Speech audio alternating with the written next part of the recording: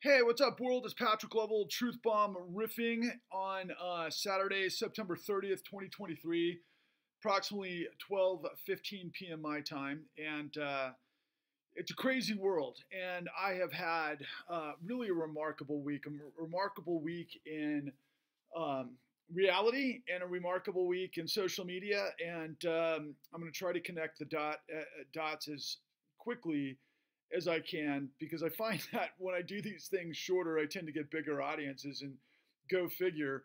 But um, look, I I guess the overview first and uh, foremost of what I want to kind of just entertain and, and, and get to know you on a personal basis is that look, I'm a positive person, all right? I'm an entrepreneur. I'm a business person. I'm actually a capitalist in what I do because I'm a producer.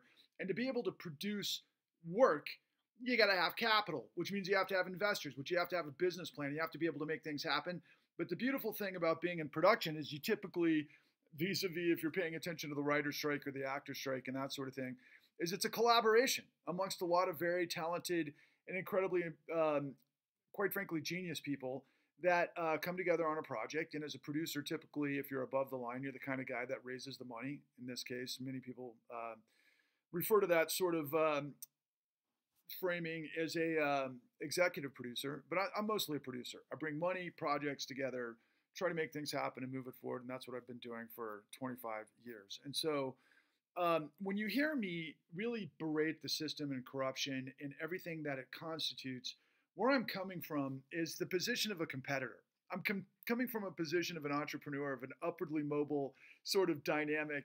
Things got to come together to you know make incredible things happen. And that's always been my sort of composite of the united states and what we're all about and what we're all you know really implanted with. And you kind of pick your lane and in, in the direction you're going to evolve in your own life based on education and what you do and so forth that puts you into whatever your career becomes. And um, you know for me it was always about first and foremost opportunity which is made possible by the law.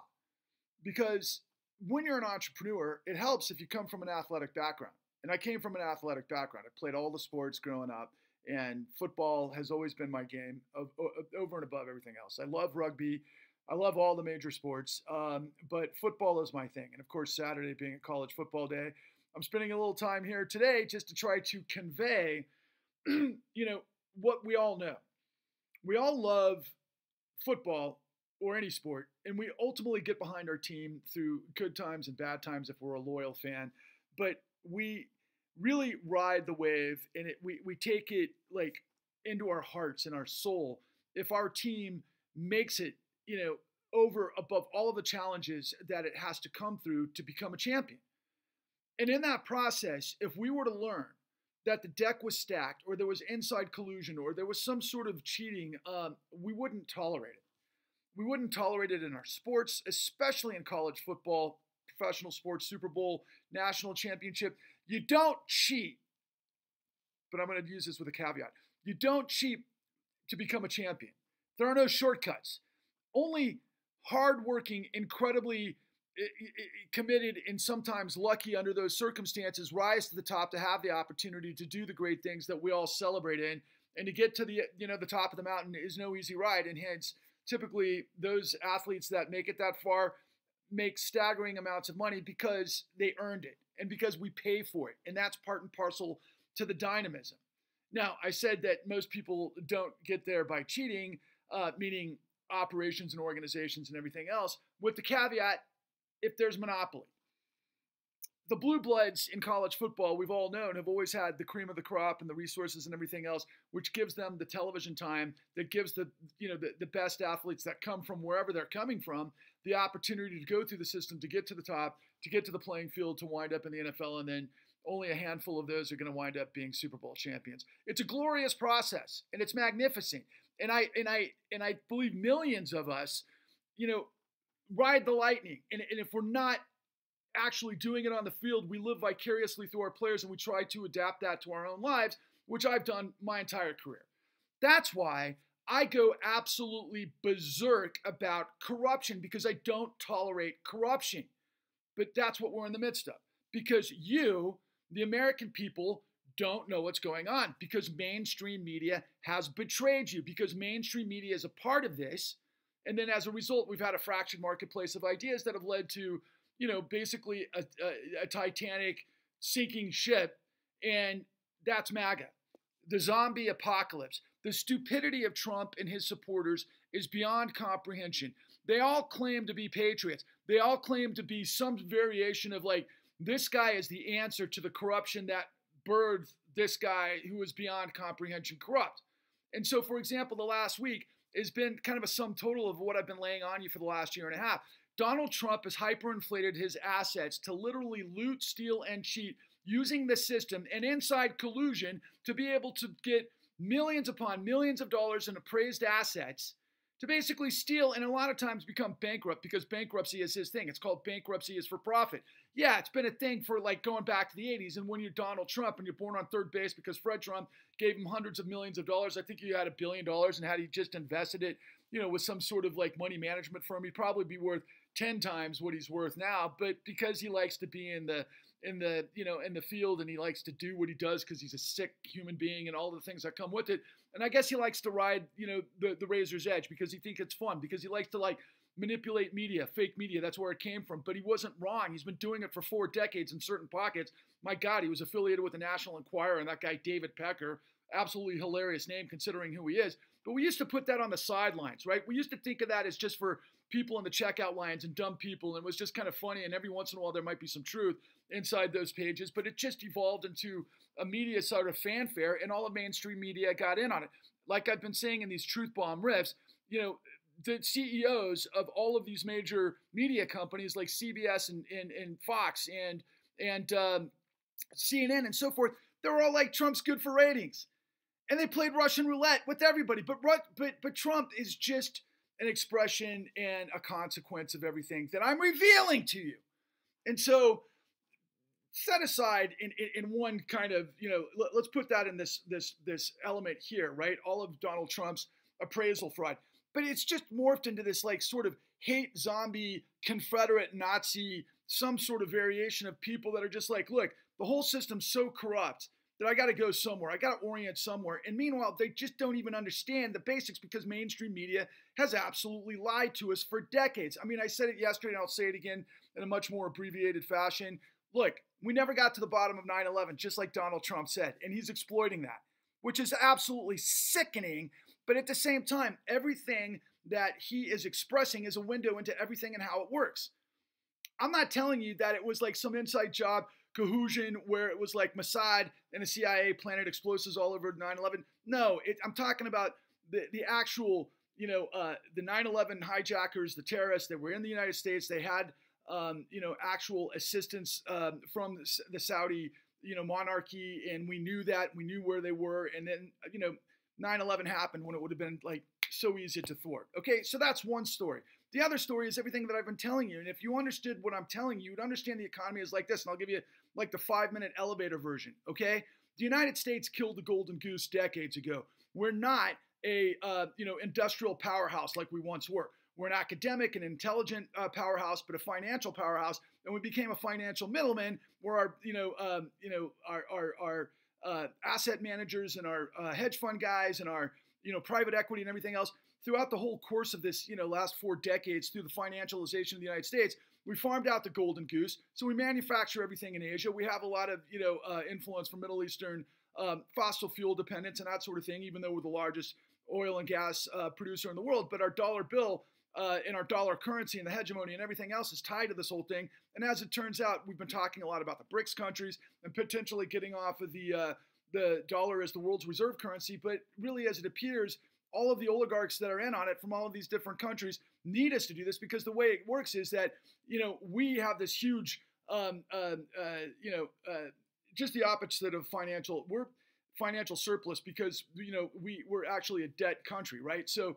ultimately everybody's manufacturing and we're buying all of their goods and then they invest from our buying the goods into our stock market into our real estate and then real estate can be manipulated i got called out the other day from this guy who listens to my truth bombs a lot and he's like man i'm with you all the time but i can't believe you're a russiagate conspiracy guy he's like you just lost me and i'm like no i'm not and this isn't a conspiracy when i talk about deutsche bank being the connection between putin and Trump. Now, meanwhile, we've seen in the last week, you know, Russell Brand and everything that happened with, you know, four women coming out and it was like news in the cycle. And then Putin, I mean, excuse me, Russell got more and more into what he's been talking about, like the deep state's going to try to, you know, kneecap him and all that kind of stuff. But meanwhile, all he is is a vector for Tucker Carlson, who's a vector for all things Trump and Putin. And it's all this inside pull and collusion. And there's all these confusing things happening. Yesterday, it was tra- trending on uh, Twitter.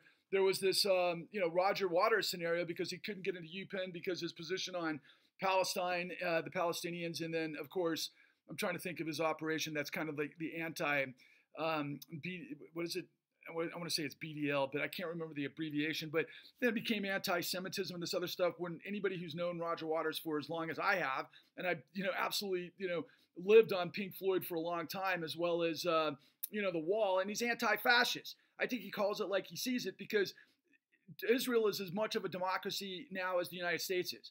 And there's all sorts of weird, sort of confangled madness between the Saudi uh, Arabian theocracy and what this autocracy in Israel is. And just recently, there were you know hundreds of thousands of Amer- um, Israeli demonstrators who were all pro-democracy who took to the streets, and it actually got some headway and some traction in the media in the United States, where Benjamin Netanyahu was overreached because of the Supreme Court, which is another version of autocracy. So you have all of these right-wing sort of calibrations that are destroying and disseminating and perverting and manipulating and diabolically betraying democracy, acting as if they're you know some part of the dem- the dem- democratic process. No, it's all a collusion kind of gang rape to be in position to do what I've been talking about for I think the last year and a half, which is this Game of Thrones scenario where it's like whoever the winning tribe is, and in this case I call it the new robber barons versus the new Confederacy. It's like get the White House, get Congress, get the Supreme Court, and above all, get the Federal Reserve. You have that, then you've got this vertical, which I call a corporate fascist state undergirded by a criminal syndicate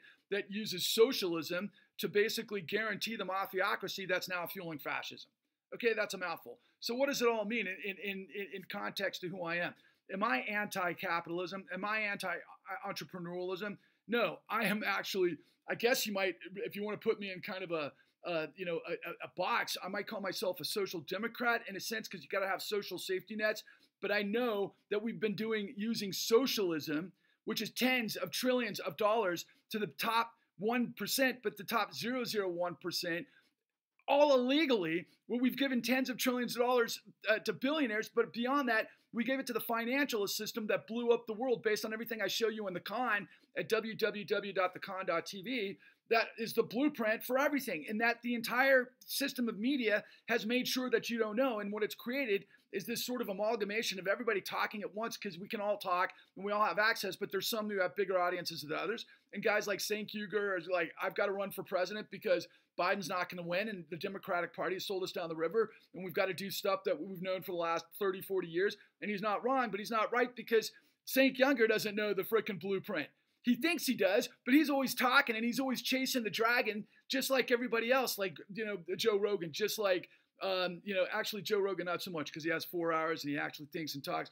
Different sort of scenario. He's just not naturally like Cenk Uygur, but Krystal Ball and Saagar Enjeti, Jimmy Dore, Aaron Mate, all these guys, they all chase the fucking dragon, which are these algorithms. And what I'm bringing to you is what the entire government of the United States and the entire um, um, you know, uh, media apparatus hid to you, all of them.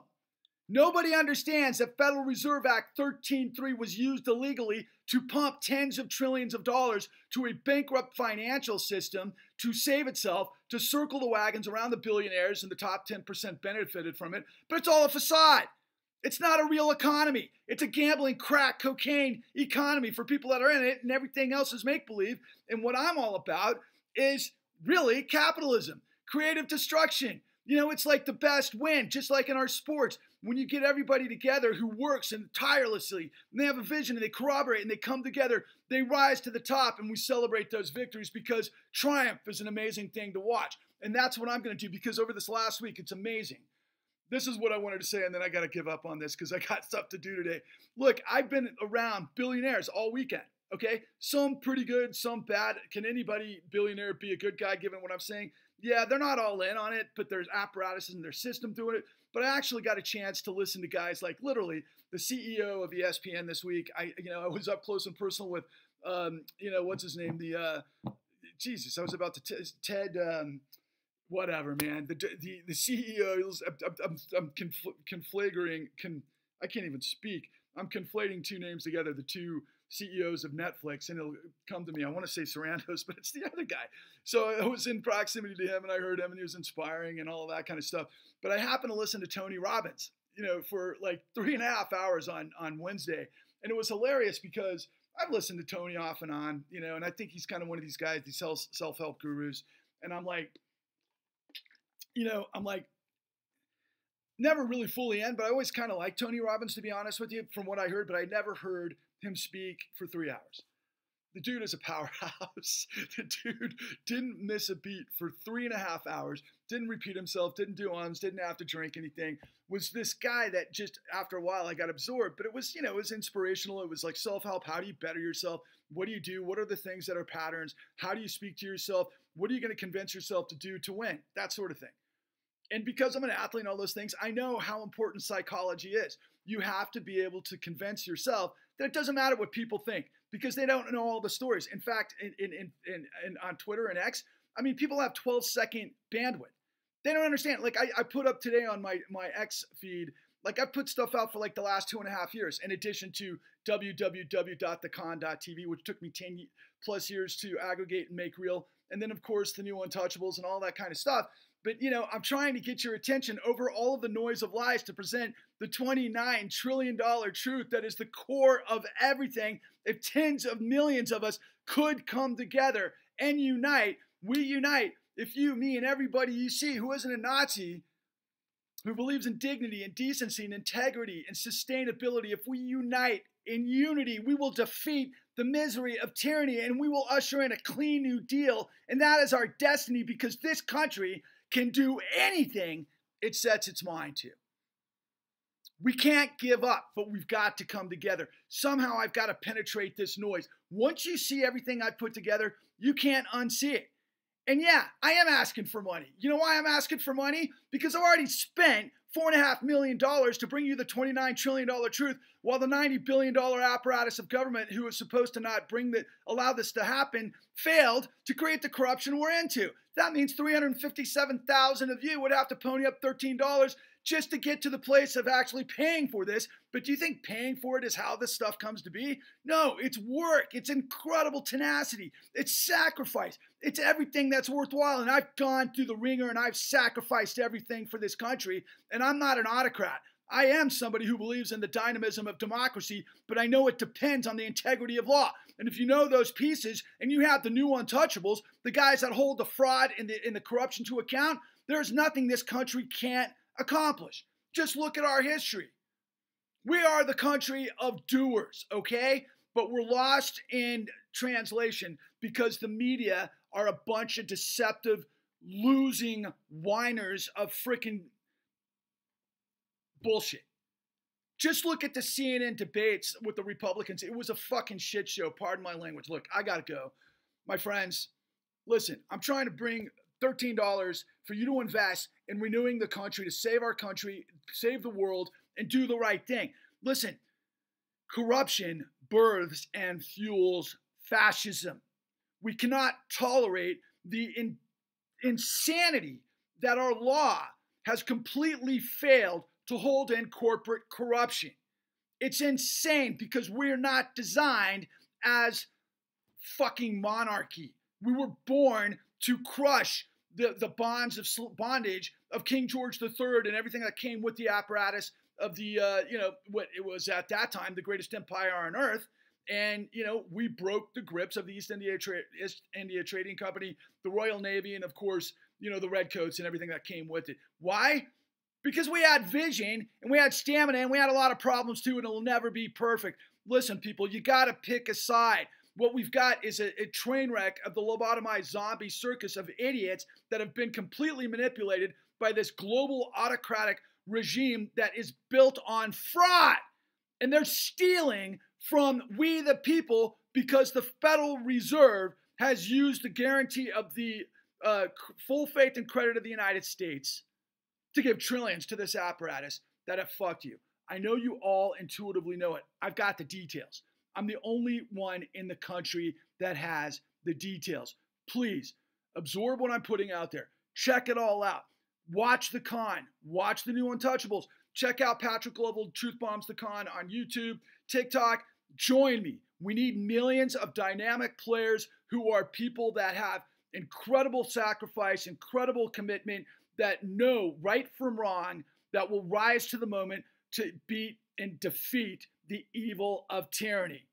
Failure is not an option. Rise, roar, revolt. Onwards and upwards.